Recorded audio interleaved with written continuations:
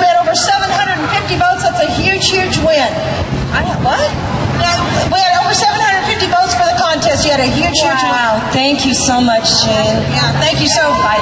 It's very exciting. It's been a lot, a lot.